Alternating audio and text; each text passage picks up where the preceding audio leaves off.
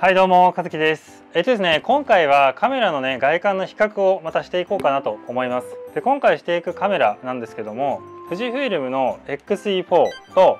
ライカ Q とあとは X プロ3というところで、まあ、スナップ写真の用途でね結構使われるようなカメラ3台なんですけども今回はこれの外観比較とあとは僕が使用していてそれぞれどういった特徴があって、まあ、どういう使い方をしているのかっていうのも含めてちょっとお話をしていこうかなと思います。でそしたらねちょっとカメラの視点を変えます。はい。はい。で今ですねカメラの視点を変えました。こんな感じでちょっとねお話をしていこうかなと思います。でまずですねこれらのカメラの簡単なね特徴というかどういったカメラなのかっていうのをご説明させていただくと XE4 と X Pro 3に関してはレンズ交換式のカメラでございます。なので、まあ、レンズをねいろいろ交換して楽しむことができるようなカメラになっています。ライカ Q に関してはもうねコンパクトデジタルカメラっていうところでレンズが固定されているので交換することはできないようなカメラですね。これはフルサイズセンサーを採用した 28mmF1.7 っていう単焦点レンズがついたコンパクトデジタルカメラになります。富士フイルムに関しては APS-C センサーを採用したレンズ交換式のカメラというところで、まあ、こういったね大きな特徴があります。で最初にねまず重量の方を比較していこうかなと思います。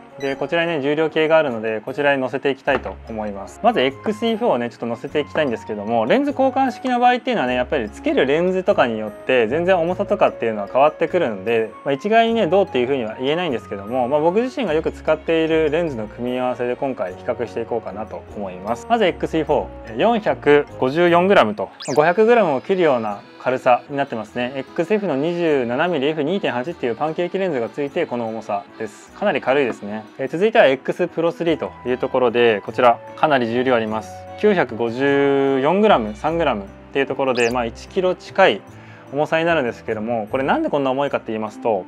まあ、ついているレンズ 23mmF1.4 っていう単焦点レンズなんですけどもこれがある程度やっぱり重量があるっていうのとプラスアルファで僕自身これ今グリップがついてるんですけどもこの純正のグリップって底面が金属でできているんでその分にねやっぱり重量が増してしまうというところで、まあ、1 k g ぐらいあるようなシステムになってます。で続いてはライカ Q なんですけどもこれちょっとサムレストがついている状態なんですが、えー、いかがでしょうか、え、709g というところで XE4 よりも重たくて X Pro 3このセットよりも軽いという感じの重量になってますね。はい、でまあ正直 X Pro 3自体を僕はね結構頻繁に持ち出して写真を撮っていることもあってライカ Q の重量に関しては全く気にならないです。で X Pro 3に関してもすごい重たいなっていう風に感じることはまずないので、まあ、XE4 がね正直僕からするとすごい軽すぎるっていう風にま感じるのかなって気がしますね。であとはですね上部のダイヤル群をねちょっと比較していきたいんですけども、まあ、これらのカメラってやっぱりかなり似ているところがあってそれはやっぱりこの上部の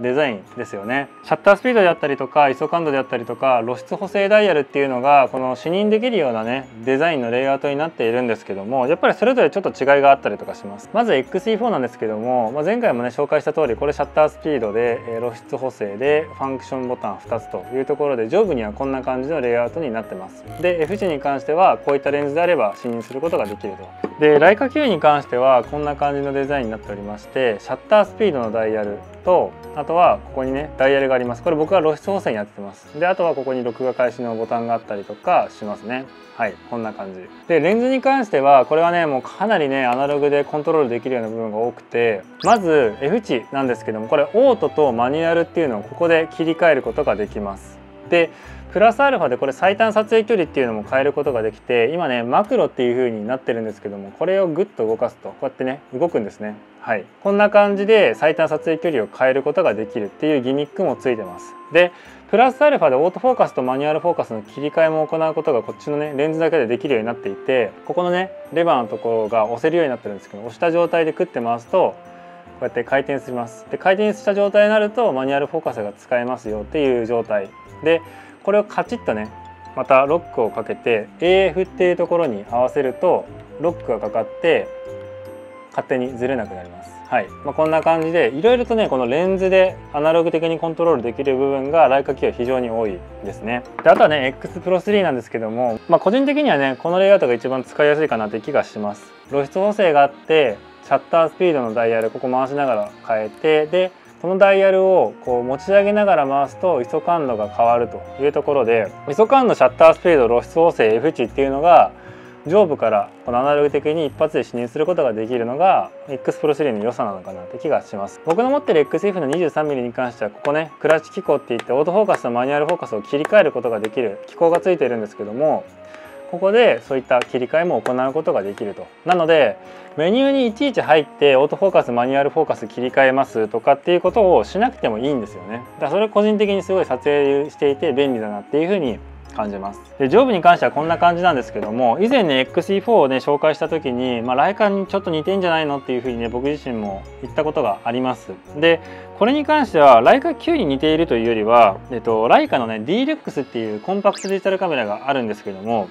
あれの上部のデザインっていうのがやっぱりねあのコメント書いてくださった方もいらっしゃったんですけどもやっぱりすごい似てるんですよ。もう本当にボタンの配置からこのダイヤルの配置とかも本当に酷似していてまあこれ見ていただければわかるんですけどもやっぱりかなり似てるんですよね。でボタンのレイアウトっていうのもやっぱりライカはライカ Q2 になってねこの今の僕が持っているライカ Q よりもボタンのレイアウトをかなり省略して簡素になってるんですよ。でその辺もねなんか富士フイルムがやっていることとライカがやっていることって割と似てたりとかするんですよね。他のメーカーってやっぱりそういったことないじゃないですか。ZFC なんかも別にこのレトロデザインといったところでボタンの省略っていうのをしているわけでもないですしソニーに関しても筐体はちっちゃいですけどボタンはしっかりと配置されてたりとかしますよね。で富士フイルムとライカだけがやっぱりこのボタンを省略するっていう方向に行っているんでまあ似てるって言われてもしょうがないのかなっていう気は個人的にはしてます、まあ、X Pro 3なんかもね特にやっぱりそういったことを感じさせるようなデザインのレイアウトになっているのでまあ、多分ね富士フイルムを使われている方なんかはライカのデザインって多分好きなんじゃないかなっていう気がするんですよね。多分似てるところがかなり多いと思うので。富士フイルムのカメラ使っててライカのカメラがどうこうっていう風に難癖つけている方がもしいらっしゃるんであれば多分それは富士フイルム信者か何かだと思います。単純にこのカメラを何て言うんですか？中立な感じで見てないですよね。富士フイルムに偏った感じで見ていると多分いや富士フイルムの方がいいライカなんてっていう感じの考え方になると思うんで、僕は別に信者でも何でもないんでやっぱり似てるなっていうふうには感じます。はい、で僕自身ライカ信者でもないです正直。はい。個人的に好きですけど。このシルバーのね塗装の感じっていうのは見ていただければ分かるんですけどもやっぱりねライカ Q の方が高級感があるなっていう気がしますしこの細部のねこのダイヤルの数字であったりとか墨入れの仕方であったりとかこの曲線ですよね。この辺の造形の美しさはもうやっぱりね作り込まれてるなっていう気がするのでもちろんね富士フイルムのカメラもそこそこシンプルなデザインでかっこよくはなってるんですけどもやっぱりコストっていうのがどうしてもかかってくるんでこれ10万円のカメラなんでそれにしてはね非常によく仕上がってるのかなっていう気はします。まあ、対してねこれは新品で買うとね60万円ぐらいするカメラでもあるので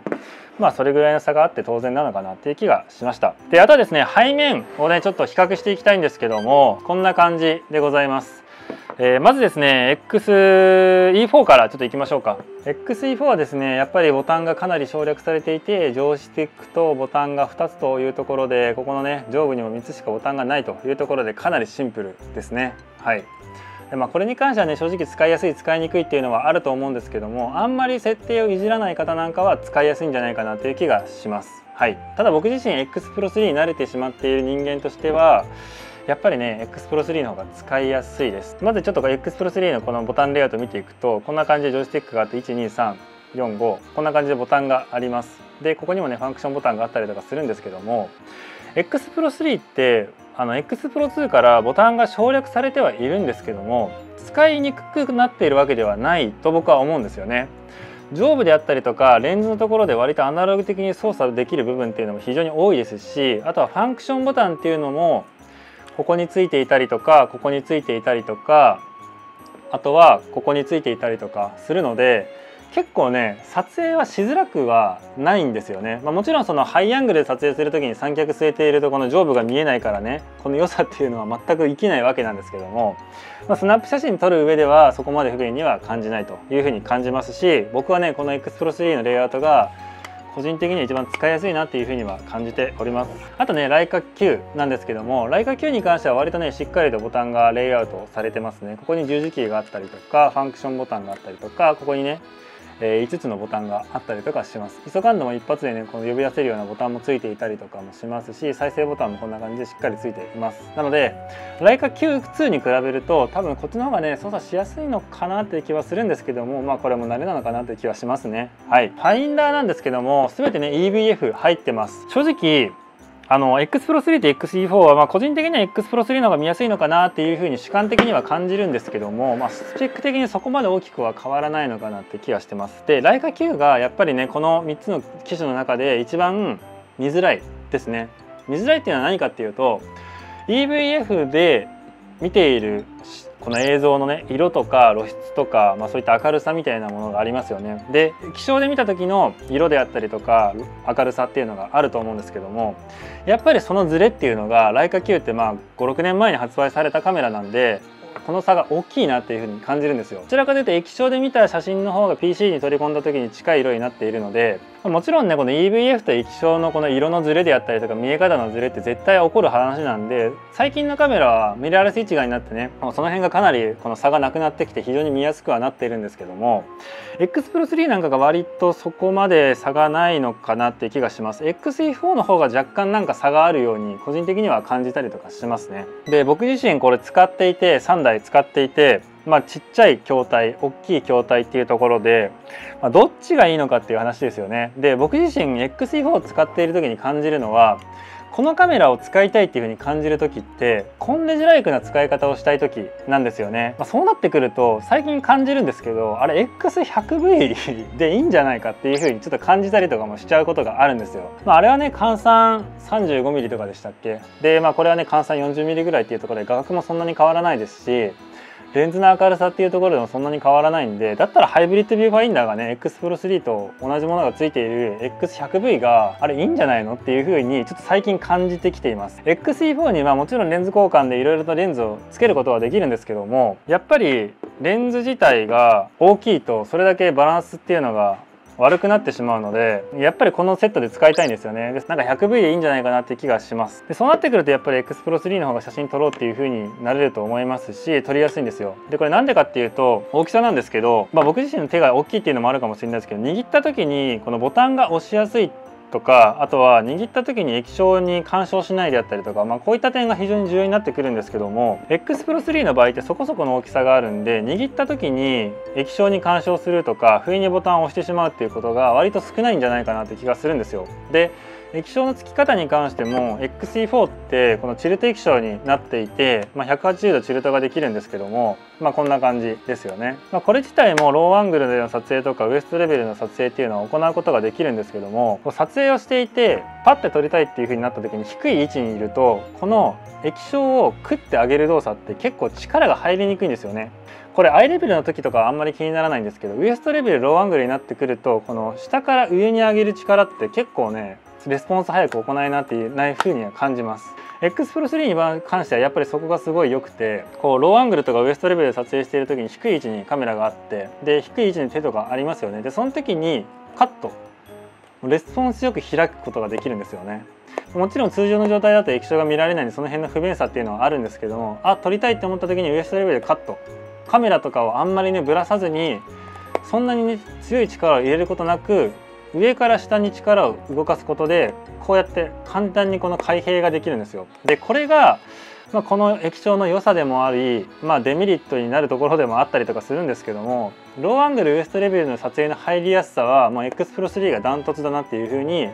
いろいろなカメラを使っていて感じますね。Z7 とかに関してもやっぱりこの下から上に上げる動作なのでこの何て言うんですかこれでもスナップ写真撮れないことはないんですけども親指とかでこうクッと上げてやりたいって思った時にこう行き過ぎちゃうんですよね。見えなくなっちゃうんですよ。でプラスアルファ EVF っていうのが出っ張ってるんでなんかこの辺のねなんか細かなニュアンスなんですけども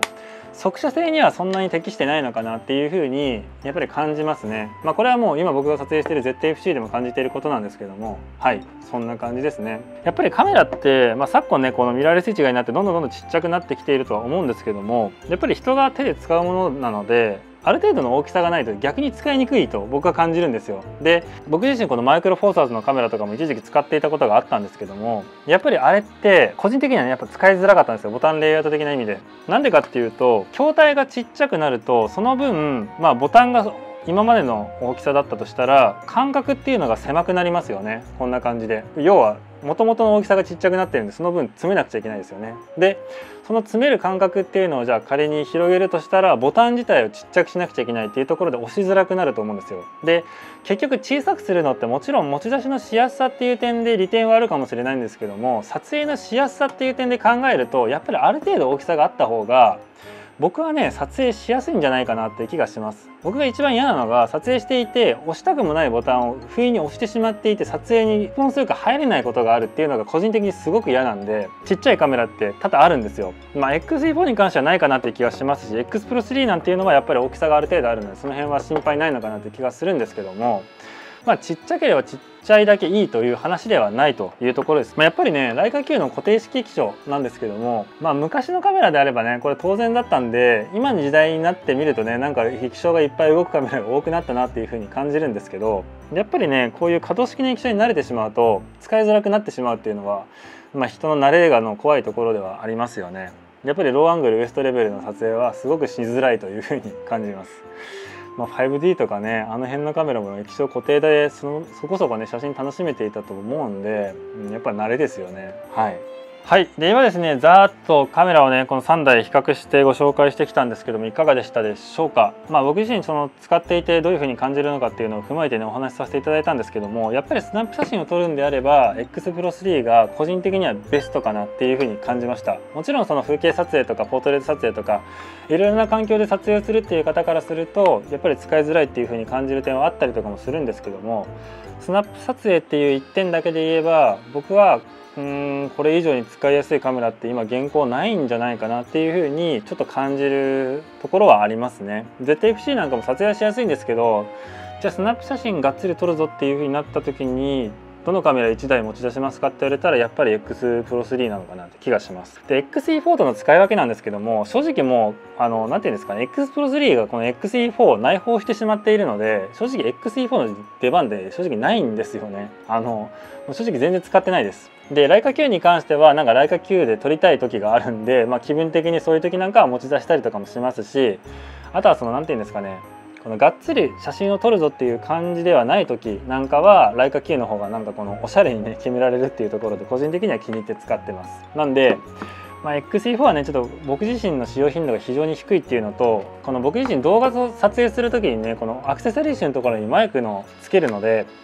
このチルト液晶が使えなかったりするんですよねでそういった点でやっぱり、まあ、僕の使用用途には合わなかったのかなって気がするんでまあ、このカメラ自体はちょっとねあの手放そうかなというふうにちょっと感じているところでもございます。えー、てな感じでですね今回はちょっとねこの3台のカメラをざっと比較させていただきましたがいかがでしたでしょうか。えー、てな感じで今回はこんなところで動画終わりたいと思います。それではバイバイ。